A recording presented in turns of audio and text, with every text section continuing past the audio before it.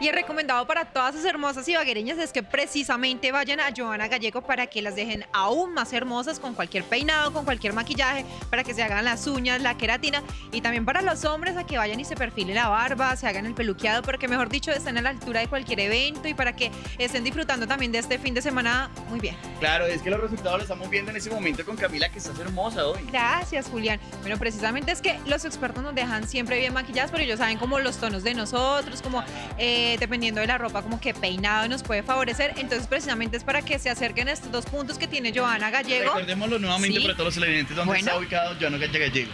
bueno, uno es en la calle 44 y el otro es en Mercacentro número 10, El Poblado, dos puntos estratégicos para cualquier ibaguereña, para también cualquier ibaguereño que vayan y se dejen bien para cualquier ocasión. Bueno, pues muy bien, para ustedes que están pensando en ese momento, cómo me voy a preparar para este fin de semana, ahí está un recomendado de Cero Express, pero también el recomendado de la siguiente nota, porque es una nota de esas que nos anima a salir adelante, a, bueno, no sé, si tenemos alguna caída en la vida, a levantarnos y seguir de la mejor manera. Pues vamos a conocer la historia de una persona que hizo parte de la policía, sufrió un atentado, pero supo levantarse.